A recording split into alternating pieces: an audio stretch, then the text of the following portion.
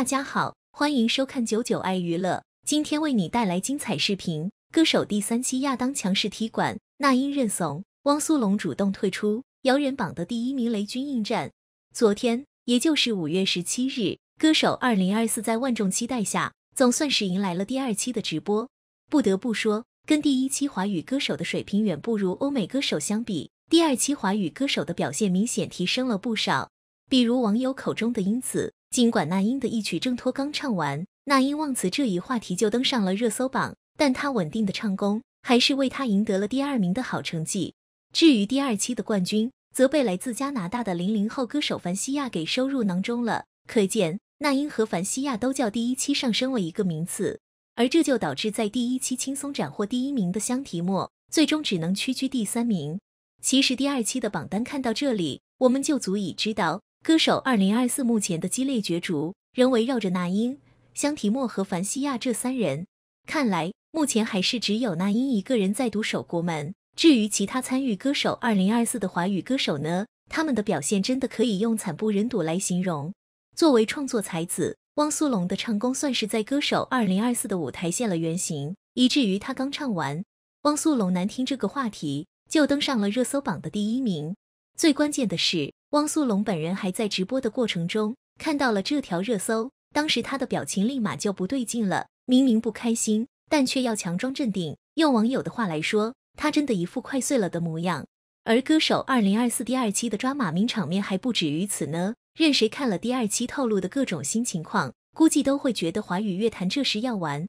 尽管汪苏泷刚唱完就因为难听登上了热搜榜，但事后也有网友表示，在汪苏泷演唱完之后。其实也有比他唱的还要更难听的歌手，首当其冲的就是杨丞琳。第二期他演唱的是林俊杰的《不为谁而作的歌》，不知是太过紧张的缘故，他开口第一句就跑调了。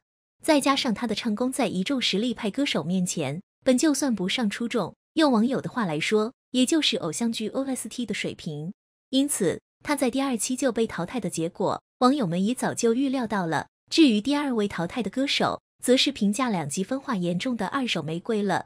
第二期他们演唱的歌曲是《嫂子颂》，原唱是李娜，被他们改编重唱后，很多网友都无法接受他们演唱的新版本，甚至直言他们的一嗓子简直是要把嫂子给送走了。当然，网友们这么说肯定是在玩笑话，不过这也反映出二手玫瑰确实不适合歌手二零二四的舞台，他们被淘汰也确实是情理之中的事。尽管淘汰的两位歌手全都是中国歌手，这样的成绩看起来挺残酷的，也挺悲哀的。这似乎是在说明我们的歌手不抗打。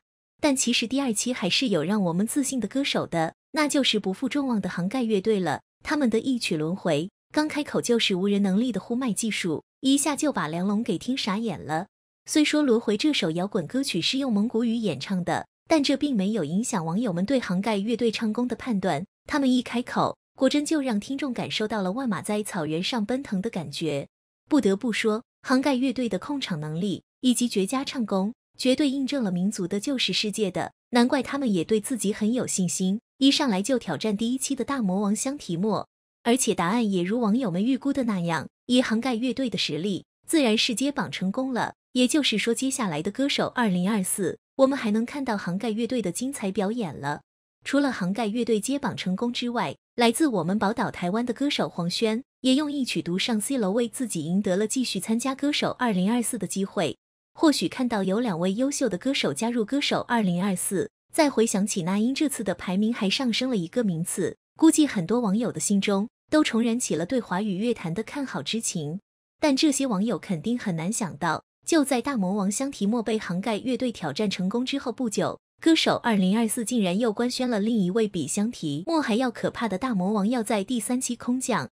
是的，这位歌手就是在网上传了很久的美国歌手亚当兰伯特。亚当之所以让一众网友是闻风丧胆，皆因他的唱功放在全球都能排在前列。一九八二年出生的亚当，绝对是天赋型歌手。他从小就展现出在唱歌上的极高天赋，八岁就得以进入当地的儿童剧团，开始进行一些音乐剧的学习和表演。我们都知道，有音乐剧演出经验的歌手，他们的唱歌实力自然不会太低。更何况亚当这种从小就参加音乐剧演出，并且从小就学声乐的，虽说拥有绝佳唱功，据说亚当的高音能力是可以轻松驾驭 C 五，这绝对是天赐好声音。但他走红的时间并不算太早，一直到二零零八年参加美国偶像这档选秀节目，亚当凭实力一路过关斩将。本来他是绝对能夺冠的，但他却因为自己的私生活赢得一些人的不满，最终只获得了亚军。不过，即便如此，亚当接下来的歌手生涯还是迎来了飞速的发展。第二年，他就凭借自己的第一张专辑入围了格莱美的最佳流行男歌手奖项。而这还不是亚当最厉害的地方。他最厉害的一点是从二零一一年起，他竟然开始担任英国皇后乐队的巡演主唱。是的，就是演唱《We Will Walk You》这首世界名曲的皇后乐队。这支乐队自打主唱在一九九一年去世以后，便只能另寻其他歌手来担任他们乐队的主唱了。到了二零一一年，年仅二十九岁的亚当就成为了皇后乐队新一任的主唱，并且时至今日，亚当还是皇后乐队的巡演主唱，每年都会有很多演出要参加。其实仅凭这一点，亚当的实力已经足以吓坏众人了。要知道，二零二二年在英国女王登基七十周年的庆典上，激情现场《We Will Walk You》这首歌的就是亚当。毫无疑问，亚当不仅是格莱美的水平，还是国家队选手。难怪歌手二零二四在官宣亚当的时候，会用世界流行音乐演唱天花板来形容了。不过，对于歌手二零二四给亚当的这个评价，网友觉得还是太保守了。在网友们看来，才华天花板说的是段梅，天赋天花板指的是比伯，而热度天花板则是火星哥。而亚当跟他们三个相比，则是各项指数都不逊色的存在。看了网友对亚当的这个整体评价，我们应该可以体会到亚当的战斗力了。这就难怪歌手二零二四刚确认亚当会在第三期空降，网友们已经替其他参赛歌手担忧起来了。毕竟亚当的清唱水平就能吊打一众歌手，除了亚当那恐怖的实力。让一众网友对华语乐坛很是担忧之外，看了在歌手二零二四报名成功的那份歌手名单，就更让网友们担心了。甚至不少网友都觉得节目组是在开玩笑。我们都知道，在歌手二零二四第一期播出后，由于两位外国歌手位列前两名，这使得华语乐坛很是难堪，网友们便纷纷替节目组出谋划策。在一众网友的集思广益之下，一份歌手二零二四应该邀请的歌手名单就出炉了。这其中，我们看到了很多国家队选手，比如韩红、韩磊、谭晶之类的。当然，也有一些有实力的年轻歌手，比如邓紫棋、张杰之类。而一向爱整活的网友，自然不会放过推荐华语歌手应战欧美歌手这个可以玩梗的机会了。于是，他们在建议林俊杰参加歌手二零二四的同时，还不忘补充说明：若是林俊杰输了，可以说是郭冬临唱的。同样的梗。还被用在了萧敬腾和向佐的身上。不得不说，网友是懂得留后路的。而更让我们发笑的是，在网友的盛情摇人之下，网络上还出现了一个叫 “UC 摇人榜”的榜单。只见在这个榜单上，我们可以看到韩红、周深、凤凰传奇和张学友这样的实力派歌手，也能看到伍佰和周杰伦这样的金曲制造机。但我们肯定没有想到，陈建斌这位专业演员也能上榜。估计是很多网友把陈建斌误认为那个在网络上很会唱歌的四郎了。不过这还不是最不可思议的地方，估计很多网友怎么想也不会想到，摇人榜的第一名竟然是小米总裁雷军，并且他还是以远超第二名的票数遥遥领先的。